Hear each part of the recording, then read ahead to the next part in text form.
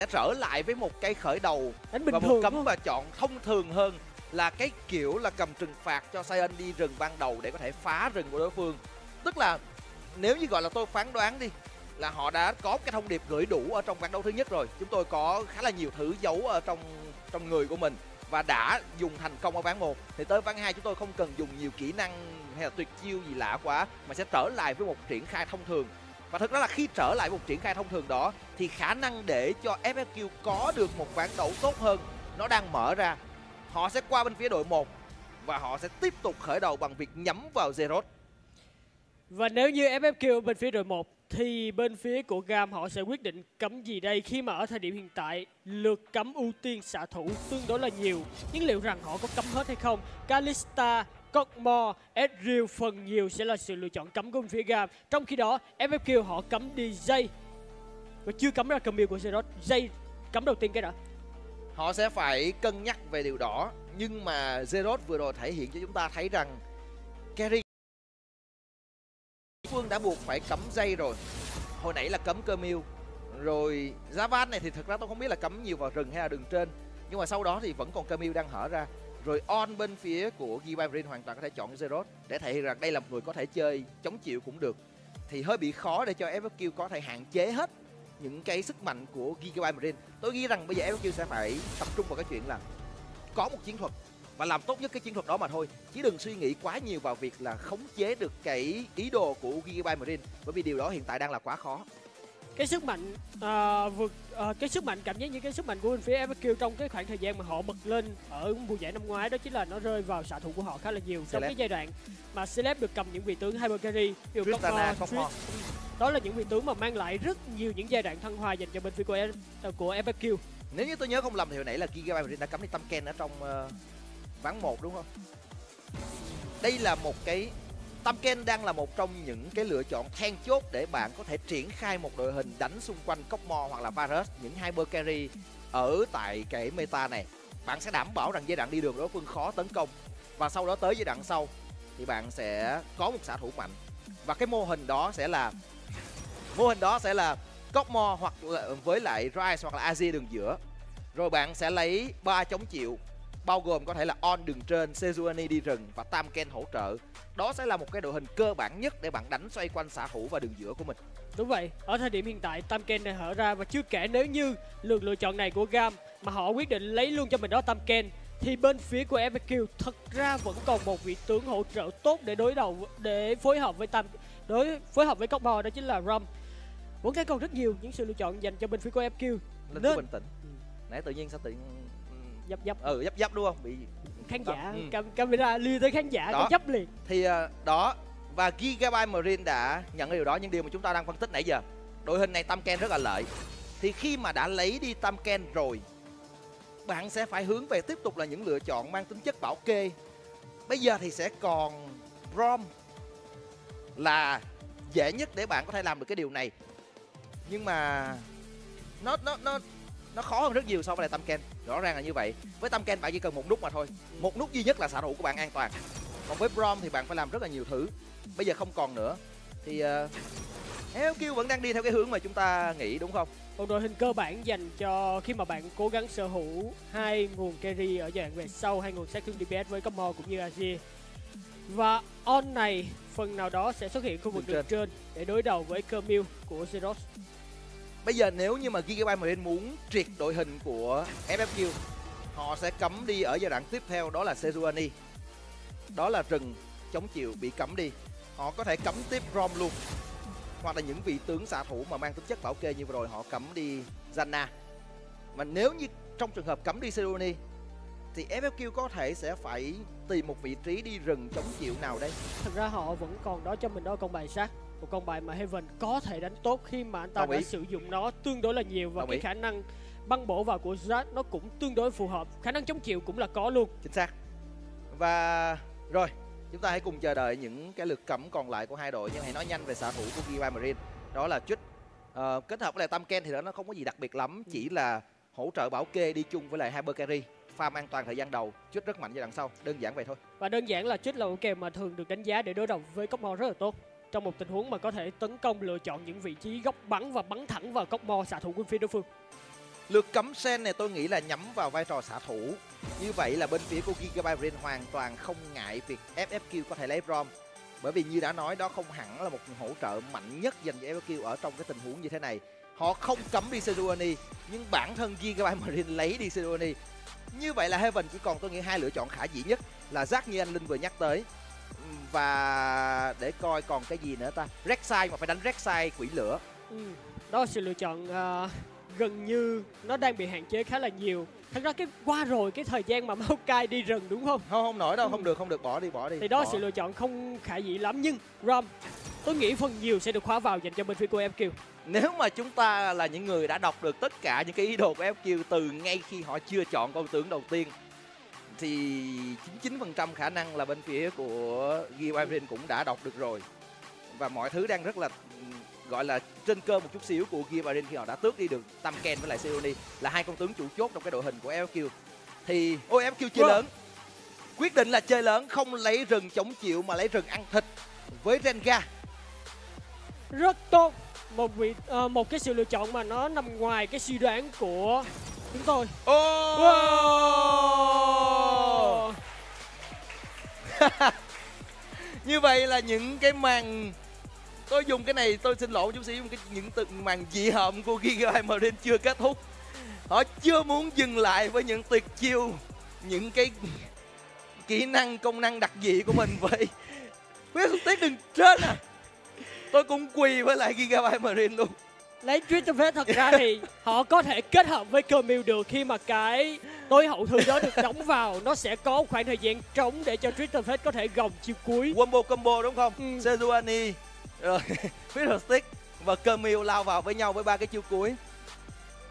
Tôi là các bạn tôi không đánh 10 trận xếp hạng đầu tiên vào giai đoạn này đâu.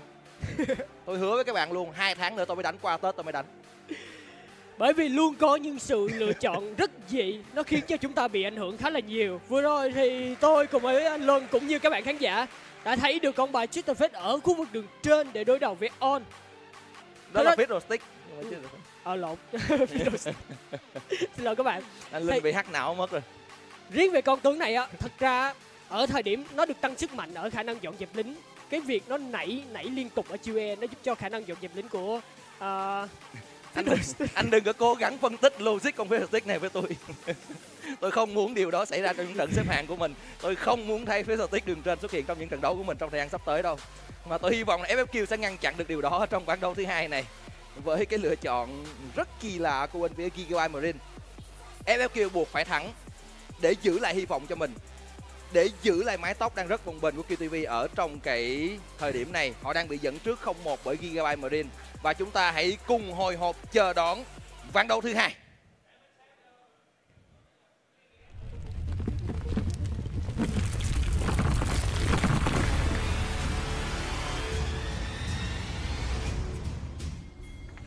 Gigabyte Marine và FFQ bước vào ván đấu thứ hai trong cặp BO3 khi mà tỷ số đang là 1-0 nghiêng về bên phía của đường kim vô địch. Tôi thấy như vậy hợp lý hơn nè. Fiddlestick sẽ xuất hiện khu vực đường giữa. Zerot cầm Camille lên khu vực đường trên. Nhưng đây là một tình huống chơi cực kỳ lớn của các thành viên FFQ. À, đúng, FFQ đang muốn chơi lớn bằng cách đi 5 người vào đường đối phương. Gigabyte Marine vừa nháy vào cái bụi cỏ đó. Họ vừa nháy vào bụi cỏ đó và No Way đang đi vào đó No Way đang lò dò đi vào đó nhưng anh ta không gặp nguy hiểm bởi vì FFQ đã đi vòng vào khu vực bụi cỏ bùa xanh của Gigabyte Marine. Vấn đề là bây giờ Gigabyte Marine có biết điều này hay không và liệu là Chris Sky sẽ khởi đầu ở bùa nào? FFQ liệu có đủ kiên nhẫn để ở lại bốn người ở chỗ này hay không? Ở thời điểm hiện tại, tính tới thời điểm này, tôi không nghĩ là các thành viên của bên phía GAM biết Chris được Sky rằng... đang chạy về, Chris Sky đang chạy về khu vực bùa xanh của mình. Anh ta không biết anh ta chỉ cắm mắt để phòng ngự con bùa đỏ mà thôi. Ôi, anh ta bắt đầu. Lai đang đi ra. Đơn vô bụi rồi. Lai đã vô bụi. Lai đã vô bụi. Lai. Chris Sky đi vào bụi. Chris Sky đi vào bụi. Và Chris Sky bất ngờ quá. Bạn đang đứng bị tấn công rồi. Anh ta tốc biến rất nhanh bị đánh ngất ngư. Sát thương dồn vào. Chiến công đầu cho Celebrity. Rất tuyệt vời dành cho bên phía của FFQ khi mà xạ thủ cốc bo. Vị tướng duy nhất cần được dồn tài nguyên của phía FFQ có được chiến công đầu và họ có được pha khởi đầu rừng như trong mơ. Rõ ràng là như vậy bạn lấy được tốc biến của rừng đối phương và bạn đem về chiến công đầu cho hyper carry của mình là cóc mo đường dưới. Một khởi đầu trong mơ của FFQ Và cái người làm tôi hú tim nhất trong tình huống vừa rồi đó chính là Lai. Nếu như anh ta mà lộ diện thôi. Kế hoạch bể luôn. Đúng là như vậy. Họ mất nhiều thứ lắm bởi vì lộ diện xong bạn sẽ mất nguyên cái phần rừng nữa trên bản đồ khi mà đối phương tiến vào. Nhưng lai đã đi kịp vào bụi và họ đem về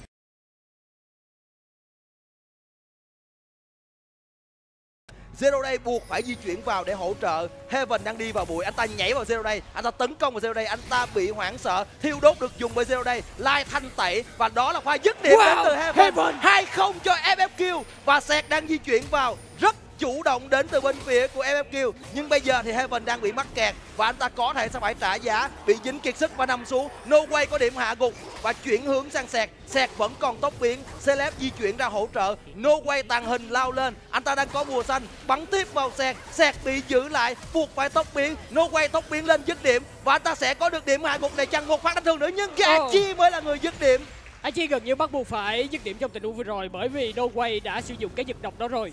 Lượng sát thương để gây ra tiếp vào người của Sẹt sẽ bị hạn chế và sát thương là đủ nếu như Achi không sử dụng cái đá lưỡi đó của mình Đúng. thì Sẹt sẽ có thể rút lui được. Và như vậy là tỷ số đã được cân bằng hai đều dành cho Gigabyte Marine. Mặc dù khởi đầu rất tốt dành cho FFQ, nhưng mà bây giờ có cảm giác như cái lợi thế đó của họ đang mất đi khá nhiều. Lợi thế duy nhất mà tôi đang cảm nhận lúc này dành cho FQ là những cái phép bổ trợ của họ phần nào đó vẫn đang lời hơn. Đường dưới, rừng, đường giữa của bên phía Gigabyte Marine tất cả đều đã mất tốc biển. Trong khi đó thì Celeb vẫn còn. Tức là ít nhất về mặt phòng ngự, Celeb sẽ không gặp nguy hiểm trong những phút sắp tới. Nhưng có một điều là hai người chơi đi rừng đều là những vị tướng cần có cấp độ 6 Và khi mà cả hai người chơi đi rừng này đạt được cấp độ 6 Thì phép bổ trợ của cả hai bên sẽ bắt đầu hồi lại Heaven tiếp tục tiến vào bùa đỏ của phía đối phương. Lượng máu của Rich Sky là thấp Anh ta cũng phát hiện ra đối phương ở đây và sẽ rút lui. Không có vấn đề gì. Bắt buộc phải rút lui bởi vì máu thấp chưa về nhà lần nào cả. Và Heaven có cơ hội để giành quyền kiểm soát bản đồ dành cho bên phía của Gigabyte Marine. Vừa pha đẩy đường và di chuyển. Chris Sky vẫn đang bị tấn công. Anh ta ủi qua tường được. Heaven vẫn đang lao theo. Và anh ta có bùi tức là nhảy được. Nhảy không? Nhảy. đủ nhảy. Anh ta lao vào Chris Sky sẽ phải nằm xuống. 3-2 cho FFQ với lượng máu thấp như vậy Risky vẫn cố tình ở lại để trêu chọc Heaven. Và anh ta cố gắng cắm một con mắt xuống, Đủ khoảng cách để cho Heaven có thể tiếp cận Và những pha truy đuổi tiếp theo của Lai là có dứt điểm, cướp được bùa đỏ của bên phía đối phương luôn. Và bây giờ thì rất là lợi dành cho bên phía FQ ở cái điểm là chúng ta nhắc về ngưỡng sức mạnh cấp 6 của Rengar thì Heaven sẽ có được nó sớm hơn rất nhiều so với lại Chris Sky. Anh ta sẽ cướp được bãi người đá này với một lượng kinh nghiệm đáng kể và đang nhắm vào khu vực đường trên. Zeroth vừa dùng cái đá dây móc của mình để lao lên và Heaven có đủ sức tung đập cú Bola chuẩn xác hay không? Chó và Zeroth bị bắt lại. Đó là pha tốc biển bùa đỏ đang đốt. Kinsey là người có điểm hạ gục. Rất tốt đến từ những bước khởi đầu của bên phía của FFQ Heaven. Vừa rồi có cú ném bola điểm hung tận cực kỳ tuyệt vời khi mà anh ta lựa chọn một cái góc vượt qua lính và nhắm vào người Zeroth.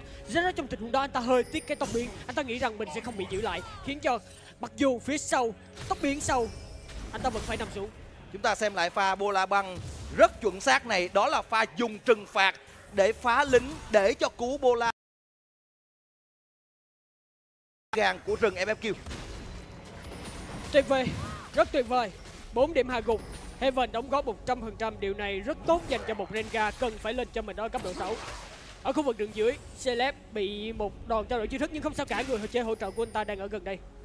Lợi thế dành cho FQ bắt đầu xuất hiện ở chỗ của Heaven và Chris Sky. Nhưng cũng cần phải chú ý Celeb đang không giữ được cái lợi thế của mình có được từ chiến công đầu và đang bị ép lính bởi No Way. Tức là Heaven trong khả năng sắp tới phải di chuyển xuống nửa dưới bản đồ để giải tỏa sức ép cho xạ thủ của mình. Nhưng anh ta đang đi ngang qua quá nhiều tầm nhìn của Gigabyte Marine.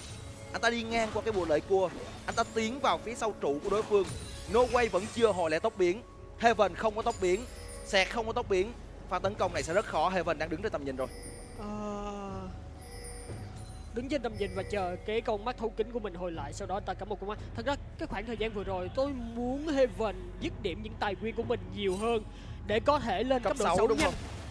Và À, bởi vì anh ta dành một cái khoảng thời gian rất là dài đi từ rừng của mình xuống nửa dưới bản đồ đứng đợi 10 giây cắm con mắt vào. Cho nên bây giờ anh ta chỉ có cấp 5 mà thôi vừa kịp để lên cấp độ nhưng vẫn còn cách cái khoảng cách cấp 6 một khoảng thời gian. Nhưng Có ta đã bùi. kịp trở lại. Anh ta nhìn thấy Chris Sky có bùi ở đây. Lai đang hết năng lượng nhưng FFQ vẫn muốn đánh và họ đang bị mắc kẹt. Lai buộc phải dùng cái đồng hồ ngưng động. Wow. nhưng Heaven đã hạ gục được Chris Sky. Zero Day dùng chiêu cuối lao vào. Heaven có đồng hồ ngưng động. King Zay đang tới. Ba đánh hai. Và đó là điểm hạ gục dành cho Zero Day họ chuyển qua King Zay. Tối hậu thư được gửi nhưng phía bên này Lai đang đánh. Lai đánh được hay không? Không được. Zero vẫn đang sống. Còn Lai thì đã hết năng lượng và máu không còn nhiều. Zero Day đang truy đuổi. Anh ta có bùa đỏ. Lai đang tìm cách chạy. Hạt thông nổ đang sẵn sàng để Lai có thể bỏ chạy được. Dùng hạt thông nổ chạy về tới trụ và Lai sẽ sống. Ở khu vực đường dưới cũng có pha chào đời chiêu thức và cặp đôi đường dưới của phía FQ phải tạm thời khi mà họ thua về lượng máu. Zero Day vẫn chưa muốn cho Lai về sau một tình huống mà cố gắng truy đuổi dịch chuyển lên đến từ khu vực đường trên của Kinh Dây và sau một loạt những tình huống trao đổi và giao tranh như chúng ta thấy ở khu vực bùa xanh của FFQ thì Gigabyte Marine đang là những người có lợi Trong pha giao tranh này, họ hoàn toàn có lợi khi mà lượng uh, tài lượng về mạng họ dứt điểm được nhiều hơn so với bên phía của FQ. Pha này cũng may là Jiray dứt điểm được Heaven. Và anh ta sẽ bật ngược trở lại pha- trong pha giao tranh tiếp theo. Lai thiếu năng lượng và sát thương để có thể dứt điểm được Zerot trong pha đó, cho nên bên phía của MLQ đúng là như Linh đã nói là lỗ hơn trong pha trao đổi ở khu vực bùa xanh của mình. Lợi thế của họ bây giờ không còn nhiều nữa. Nhưng họ biết rằng Zerot không có chiêu cuối. Họ biết rằng Zerot không có tốc biến và họ muốn băng trụ người vào trước là King dây để kéo máu. Họ đang muốn câu cái đu dây móc của Zerot nhưng sự tỉnh táo giúp cho Zerot không làm gì cả trong pha đối phương ủi vào. Hai người chưa đủ. FFQ tổ chức thêm 3 thành viên lên khu vực đường trên với Lai sau khi đẩy được lính khu, khu vực đường giữa. Anh ta bắt đầu di chuyển lên khu vực đường trên. Zerot biết được cái mùi gì đó rồi. Anh ta quay ngược trở về. và Heaven vẫn chưa cấp 6 anh ta đang bị cuốn khá là nhiều vào những pha găng và anh ta chưa đạt được cấp 6 nhưng mà điều tương tự đang có Chris cũng chưa cấp 6 di chuyển xuống dưới tôi không nghĩ rằng Celeb với lại Sẹt có quá nhiều sự nguy hiểm ở trong pha này bởi vì họ đã thấy rồi họ đã thấy Chris đối phương không có bola băng Celeb sẽ ôm trụ Zero Day bắt đầu di chuyển xuống khu vực đường dưới. Anh ta gần hồi lại cho mình đó chiêu cuối rồi. đi ngang mắt không để ý. Zero Day đi ngang có một con mắt không để ý và FAQ biết rằng đối phương đang muốn làm gì. Nhưng biết là một chuyện ngăn chặn được không là một chuyện khác. Không có đủ người không có dịch chuyển. Họ phải bỏ trụ. Nhưng vấn đề là ở đường trên Heaven và King Zay làm được điều tương tự lấy được trụ đầu tiên. Zero Day đang đứng gồng chiêu cuối chăng? Ở Bên trong khu bụi. giữa. anh ta đang canh đó là Zerot lao vào tấn công. Lai là người đẩy đối phương ra. Zero đây đang lao tới nhưng quá trễ. Lai vẫn đang chạy về với đồng đội của mình. Heaven dùng chiêu cuối. Hỏa dương hiệu triệu được gọi. Nó nhắm vào Zero, Anh ta dùng chiêu cuối để né sát thương nhưng không được. Anh ta phải nằm. Kingsay là người dứt điểm.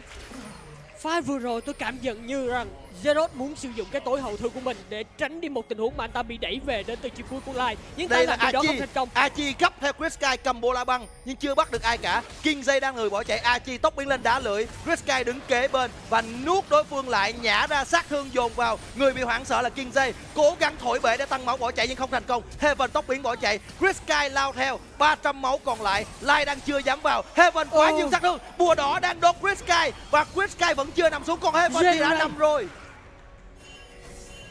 Norway cũng bắt đầu di chuyển ra đây với cái đột kích đó của mình. Anh ta đang cố gắng tiếp cận vào Lai. Phía bên kia là Zerot.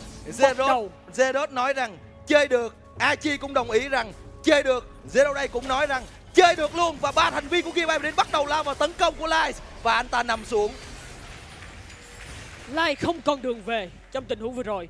Nhưng thật ra cái tình huống mà tôi đáng tiếc nhất là cho Lai đó là anh ta mất đi quá nhiều khoảng thời gian. Đây, chúng ta hãy cùng xem lại tình huống này. Khi mà Kinh Dây đang bị kẹp lại, Lai lại đứng biến về trên một con mắt tím của mình. Anh ta mất đi một khoảng thời gian để không kết hợp cùng với Heaven cũng như là Kinh Dây trong tình huống này.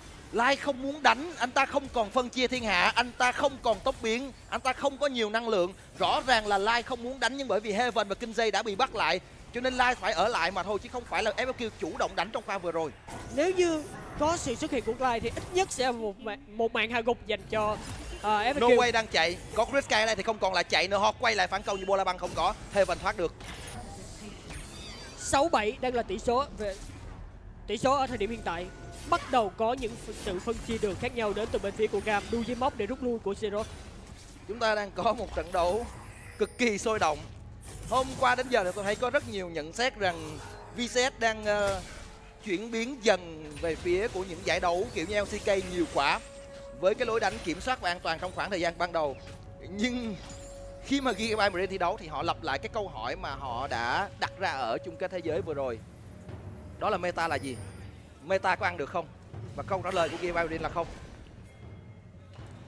Nhưng khi cần đúng là như vậy và Giga Marine vẫn có những sự lựa chọn. Nó khiến cho chúng ta, thật ra những sự lựa chọn đó, nó thứ nhất là có cơ sở, thứ hai là nó khiến cho chúng ta có một cái gì đó rất thích thú khi mà được theo dõi họ thi đấu. Heaven vừa mới sử dụng chiêu cuối. Zero đây vẫn còn đồng hồ ngân động, nhưng ta quyết định tốc biến nó né chiều cuối. Anh ta bị tấn công nhưng quay ngược lại bởi vì có Chris Sky đây. Heaven bất tỉnh và nằm xuống pha phản công nhẹ nhàng đến từ Gil Ivory Achi đang bị bắn ở đường giữa nhưng da dày của Achi chứng minh được cái hiệu quả của mình và Achi sống. Pha dịch chuyển đến từ Zero Day nhưng đối phương đã về cho nên bỏ. Pha xử lý cực kỳ tự tin của Zero Day khi mà anh ta biết được rằng mình sẽ là mục tiêu. Anh ta tốc biến thoát khỏi một những tình huống truy đuổi của Lai cũng như Heaven. Sau khi thoát khỏi cú phân chia thiên hạ đó anh ta ngay lập tức kích hoạt cho mình đó chiêu cuối bởi vì anh ta biết được rằng Rich Sky đang ở phía sau và sẵn sàng có cú bô la băng. Mọi thứ vẫn đang phần nào đó là cân bằng. Với điểm hạ gục thì Gigabyte chỉ hơn hai mà thôi. Tiền một ngàn bảy, một ngàn tám, nó không phải là quá nhiều. Và chúng ta đang rất là hào hứng với cái ván đấu thứ hai này của hai đội. Đây, sự phối hợp rất khủng khiếp đến từ bên phía của Gigabyte khi Chris Kyle nói tôi đang ở phía sau là Zero Day bật chiêu cuối giật ngược lại. Rất tự tin. Zero né hầu hết những kỹ năng định hướng của phía Everkill, khiến cho anh ta không gặp nguy hiểm trong tình huống hai đánh một và quay ngược trở lại trong cùng thời điểm đó thì con rồng thuộc về cho bên phía của Gam. Nhưng con sứ giả khe nứt thì sẽ thuộc về quyền kiểm soát bên phía của FBQ. Họ đang rất cần con sứ giả khe nứt này để cố gắng lấy trụ. Bởi vì trụ một đường giữa và trụ một đường dưới của bên phía Gigabyte Marine gần như là đầy máu. Không có sự hỗ trợ của sứ giả khe nứt. Hơi khó để cho FBQ có thể đẩy. Và một lời sứ giả khe nứt thuộc về cho bên phía của FBQ. Xếp cách tổng thể trong bản đồ ở thời điểm hiện tại thì những cái tình huống giao tranh vừa rồi, thật ra cả hai đội đang khá là cân bằng chênh lệch về tiền hiện tại. Nó không phải là một cái món trang bị quá cụ, là một cái gì đó quá cụ thể khi mà lượng sức mạnh của cả hai bên đều đang cố gắng đạt được. Khi mà những món trang bị lớn đầu tiên đều đã xuất hiện. Bây giờ đang là pha đứng rình, đúng không, của Chris Sky ở phía sau lưng của Zero đây. Khi mà bola băng của anh ta đã có nhưng sau đó thì ta di chuyển lên trên nơi mà tối hậu thư vừa được Zeros sử dụng. Heaven cũng đang chạy lên, hỏa dương hiệu triệu được dùng, King dây hất tung hai người. Heaven tới nhảy vào, nhưng Zeros tốc biến bỏ chạy anh ta vẫn truy đuổi, nhưng không được rồi, đó là Achi hạ gục King dây Heaven cũng sẽ bị đi theo. No way, việc nhẹ lưng cao, một phát đánh thường có điểm hạ gục. Đã di chuyển rất tốt của các viên vùng phía gàm khi mà Achi có cho mình đó chiêu cuối anh ta sẵn sàng mang người chơi đi rừng của mình, tiếp cận lên khu vực rừng trên. Zerot biết được điều đó, anh ta sử dụng cái tối hậu thư để giữ chân lại kinh dây và Heaven cũng bị cuốn theo cái guồng xây đó. Zero Ray đang đứng trên một con mắt tím đó của mình. Zero Ray đang đứng trong một vùng mà đối phương không có tầm nhìn. Chiêu cuối của anh ta có, đồng đội anh ta đang tới và Gigabyte Marine đang rất sẵn sàng cho pha tấn công ở đường giữa này. Họ bắt đầu tiến lên. Zero Day đang kiếm góc anh ta đứng phía sau khu vực bức tường này và anh ta đang sẵn sàng nhảy vào. Đó là một tình huống khủng khiếp mang tính chất hủy diệt của Gigabyte Marine Họ có được điểm hạ gục đầu tiên. Họ ép Celeb và tốc biển bỏ chạy Và họ rút lui khi mà King Jay đang tiến tới. Gigabyte Marine vẫn chưa mất ai cả Và họ không gặp nhiều nguy hiểm. Lai tiến lên không đẩy được ai về cả.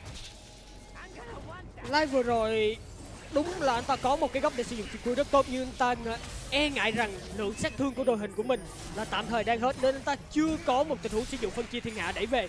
Nếu như đó là một cái góc anh ta sử dụng chiều cuối đẩy ít nhất là đến 3 đến 4 thành viên của phía Gigabyte Marine khi mà anh ta lao lên như vậy bên phía của Gigabyte Marine họ có quá nhiều cách để ngăn chặn Lai bị chậm nhịp bởi cái CC đến từ bên phía của Gigabyte Marine quá nhiều Zero đây vẫn còn cho mình câm lặng và hoảng sợ trong tình huống đó. Rồi Chris Sky cũng có thể ủi nhẹ một cái và khiến cho Lai bị mất nhịp và nó khiến cho Lai không thể nào tung được cú phân chia của mình trong pha đó. FFQ vẫn đang phải ở vào thế phòng ngự ở đường giữa. May mắn lần này cho họ thành công. Trận đấu tạm thời chậm lại một chút xíu khi mà các thành viên của cả hai đội đều cần phải giảm nhịp thi đấu đặc biệt là bên phía của FQ khi mà nãy giờ họ cái việc kiểm soát tầm nhìn ở khu vực đường giữa của họ đang cực kỳ hạn chế hơn so với bên phía của Gam. Tôi không nghĩ rằng Gigabyte Marine cần giảm nhịp lâu nữa đâu. Bởi vì chúng ta hãy nhìn đó là bảo quà đã hồi lại bola băng đã hồi lại. Và no way cũng có rồi. Đó zero đây lao ra với chiêu cuối của mình nhưng anh ta không lao lên được tiếp. Ta trúng một tình huống giữ chân lại đến từ cái bola bola của heaven. Và anh ta không có khả năng tấn công tiếp theo. Trong khi đó Achi cũng sử dụng chiêu cuối để kẹp no way tiến ra khu vực đường giữa. Ít nhất là bằng việc sử dụng dịch chuyển và chiêu cuối trong pha vừa rồi thì bên phía Gigabyte giữ được trụ một đường giữa. Và qua đó giữ được cái lợi thế về tiền khiến cho con sứ giả Kenneth của bên phía FFQ nó không có nhiều tác dụng lắm Nhưng bây giờ thì bên phía của Gilvai Marine đặc biệt là Zeroth đã qua rồi cái thời mà anh ta bị đi đọt bởi On bên phía bên kia khi mà cái ngưỡng sức mạnh của một cơ miêu ở thời điểm tại tam hợp kiếm cũng như rìu Tiamat đã có. Tấn công khu vực đường giữa là các thành viên của phía Gam.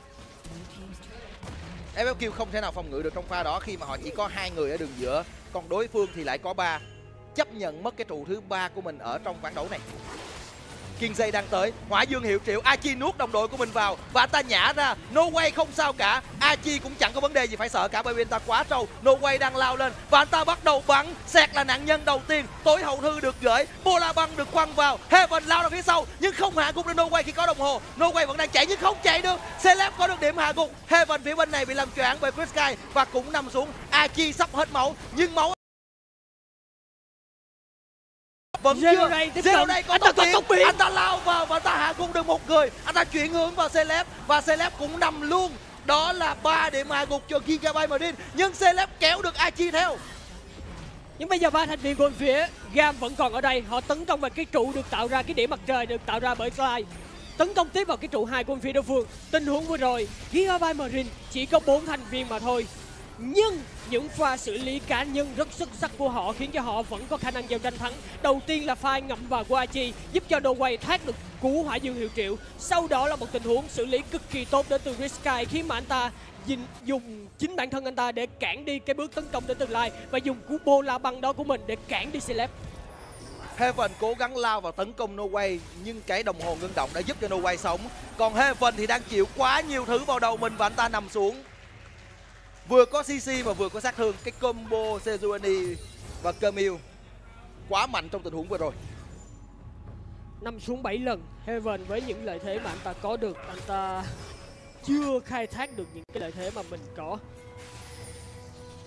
rõ ràng là mặc dù FFQ đã rất nỗ lực ở trong giai đoạn đầu và giữa của ván đấu nhưng có vẻ như khi mà trở lại cái lối chơi nhanh và mạnh mẽ của Gigabyte Marine thì FFQ thực sự là bị cuốn vào. Họ bị cuốn vào những pha giao tranh liên tục. Và họ không có nhiều kinh nghiệm đánh kiểu đó bằng Gigabyte Marine cảm giác của tôi là như vậy. Khi cái số điểm hạ gục, nãy giờ chúng ta không để ý, lúc đầu là FFQ luôn luôn dẫn trước.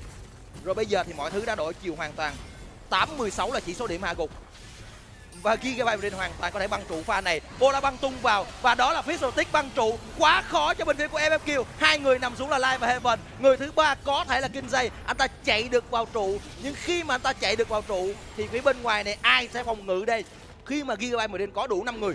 Trong khi đó, Sẹp cùng với Celeste muốn bắt vào Zero khu vực đường dưới nhưng rất khó để có thể bắt vào một cơ bill. Tấn công vào cái trụ thứ ba ở khu vực đường giữa bốn thành viên của Gam chuẩn bị lấy cho mình một đường. Chắc chắn là như vậy bởi vì tôi không nghĩ rằng Celeb với lại Sẹt có thể lao ra.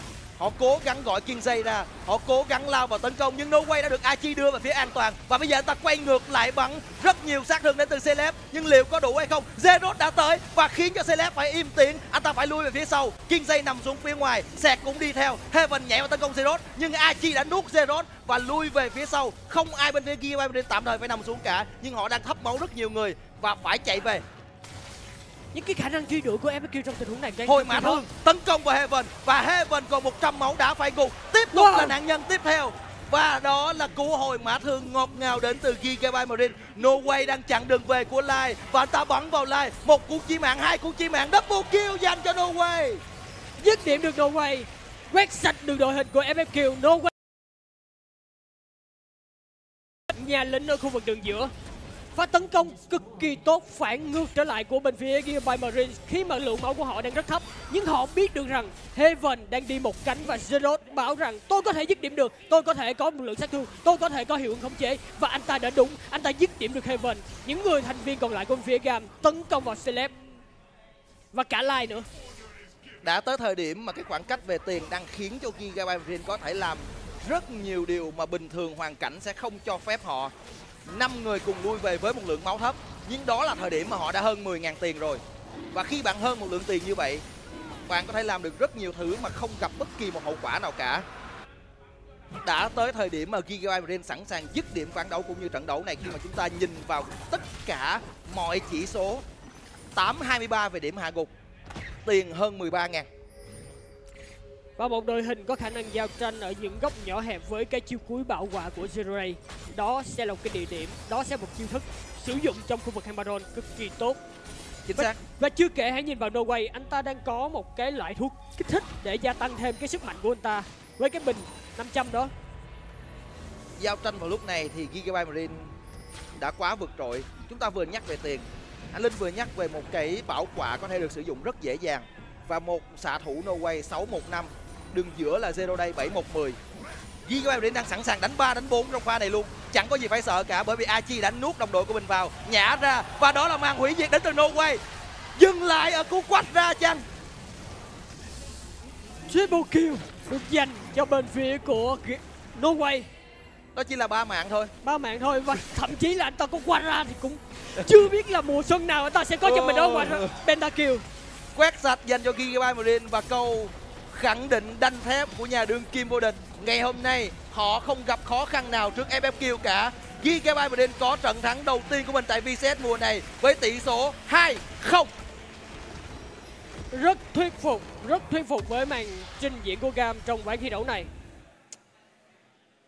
họ có, thật ra bên phía của Gam họ có được tất cả mọi thứ thứ nhất trong ván thi đấu đầu tiên, họ trình diễn đúng với phong cách của mình họ khiến cho họ giúp cho những tân binh của họ có màn thể hiện phải nói cực kỳ tốt trong ván thi đấu đầu tiên ván thi đấu thứ hai quay trở lại với đội đội hình tạm gọi là nó hơi thông thường chút xíu nhưng nó vẫn có một chút gì đó dị ở Hơi khu hả? vực Tôi không muốn dùng cái từ thông thường một chút xíu nào cả cho đội hình của Gigabyte Marine ở trong ván 2 khi mà họ sử dụng Fiddle Stick đường giữa. Nhưng kết quả này chúng ta cũng đã thấy vô cùng hiệu quả với sự phối hợp rất